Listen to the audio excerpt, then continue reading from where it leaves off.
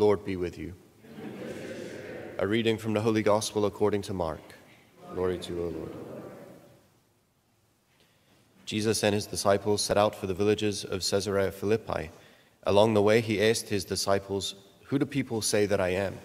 They said in reply, John the Baptist, others Elijah, still others one of the prophets. And he asked them, But who do you say that I am? Peter said to him in reply, You are the Christ. Then he warned them not to tell anyone about him. He began to teach them that the Son of Man must suffer greatly and be rejected by the elders, the chief priests, and the scribes, and be killed, and rise after three days. He spoke this openly. Then Peter took him aside and began to rebuke him. At this, he turned around and, looking at his disciples, rebuked Peter and said, Get behind me, Satan. You are thinking not as God does, but as human beings do.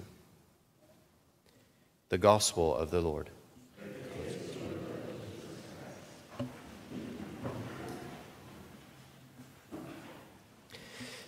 Yeah, if we remember uh, what happened yesterday in in the Gospel, we might we might hear or see uh, certain parallels.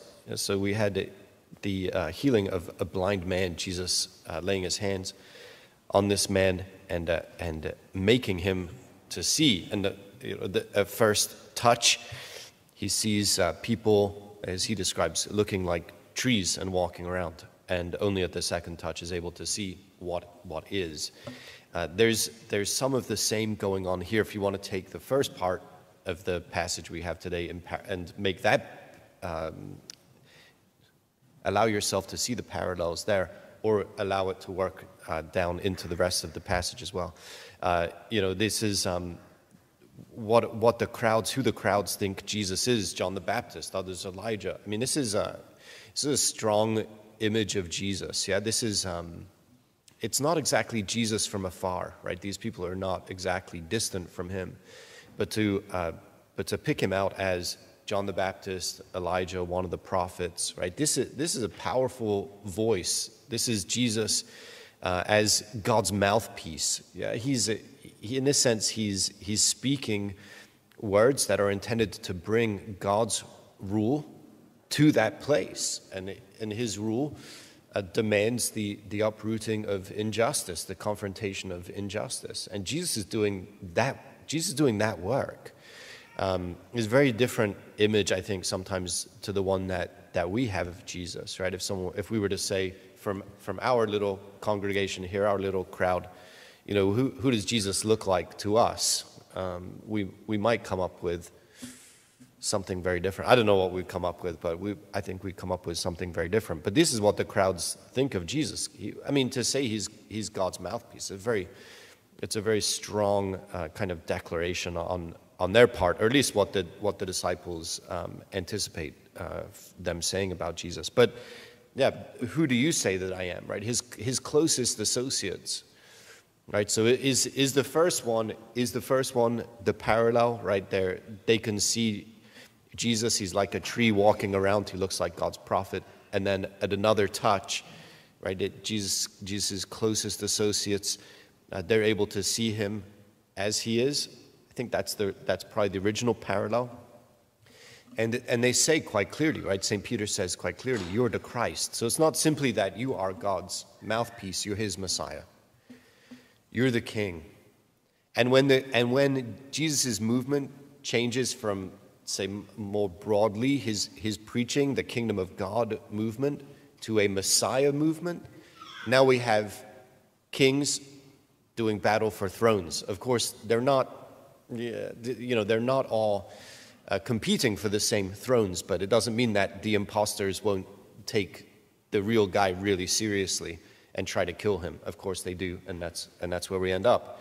Uh, but this is, and, and Jesus is, Jesus is even giving his disciples that. You know, this is, we're, go, we're going off to achieve the new Exodus. We're going off to inaugurate God's kingdom. And the way that it's going to be inaugurated is by my suffering and death. It, and even here, he's, he's more gentle than, than that, right? It's not, it's, not a, it's not a direct, it's not as direct a statement as we might expect. He's started to use Son of Man imagery.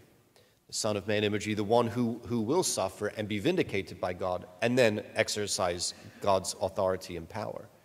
So, but he's, he's shaping their imaginations for what, for the task that he has come to take on and for the, and for the way that he is going to go.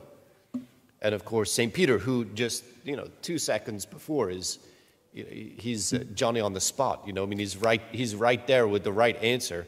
Uh, he, he's the one who's being called Satan. I mean, it's, a, it's, it's one of the quickest turnarounds in all of literature, I think. I mean, it's, it's, it's, uh, it's befuddling, um, except for the fact that we, we, understand our, we understand ourselves, our hearts, our lives are in need of a rewrite in, in much the same way as St. Peter. That even, even, so even for us, claiming Jesus as the Christ, claiming Jesus as the King, how often are we uh, pulling back on that own uh, declaration of faith on our part? How often are we saying, okay, yeah, you're, you know, you're the king, but just allow me to be self-ruled for a minute or two. You know, I want to, I want to do this or that or the other. I'm not gonna, I'm not really going to look to you to do this. Or, even, even more, even closer, I think, I know, Jesus, the way that you are going here, and I know the way that you want me to go here. But I think, we, I think I can stand to go a different way. Like, I know, Lord, that you, that you are going the way of my little summation, the way of self gift, the way that best glorifies God and is an outpouring of myself in God's service. I know that that's the way you are calling me to go at every step. But you know what? I think it seems too costly here, and I'd rather not pay the price. And you say, okay, well, this is, this is a direct challenge to the rule of Christ Jesus. So Jesus is going, he's, like, he's not saying, like, I'm going to go and fight, I'm going to go and fight this battle, and there's a decent chance that I might die. No, like, the, the death is a big part of it. It's like, that's how I'm going to accomplish the inauguration of the kingdom. It's not a, it's not a messy accident in this sense. This is what I intend to do. And Peter is there to say, there's got to be a different way. And if we look back uh, into the temptation in the wilderness, this is exactly the kind of temptations that the, the devil throws in Jesus' face. So, to pull him not only off of his mission, but out of his identity.